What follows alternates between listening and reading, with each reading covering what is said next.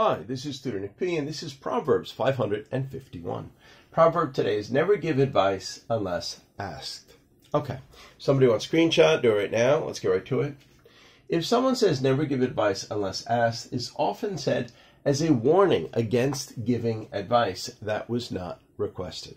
Okay, let's continue.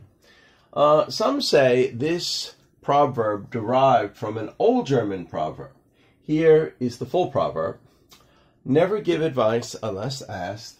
The wise man won't need it, and the fool won't heed it. Heed it means they won't follow it. Okay, let's continue. Uh, all right, here's our first example. Some people say never give advice unless asked because it may come across as intrusive, annoying, or patronizing. Intrusive, like meaning intruding, annoying, or patronizing, like you're speaking down to someone.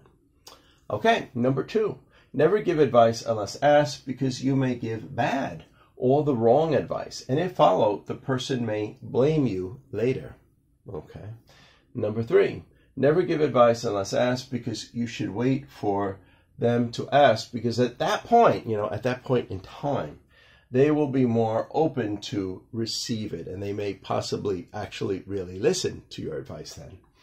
Okay, number four, never give advice unless asked because it shows that you respect the autonomy of others. Well, the autonomy that, you know, they have the right to rule themselves or make their own decisions. And number five here is actually a Taylor Swift quote. Uh, and here it is uh, I never give advice unless someone asks me for it. One thing I've learned, and possibly the only advice I have to give, is to not be that person giving out unsolicited advice based on your own personal experience. Okay, anyway, I hope you got it. Hope it was clear. Hope it was very informative. Thank you for your time. Bye bye.